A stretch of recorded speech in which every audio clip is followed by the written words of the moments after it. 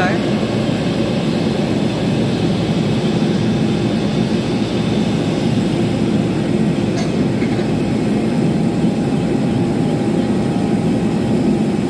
Set हो रहा है मेरे को वीडियो आज।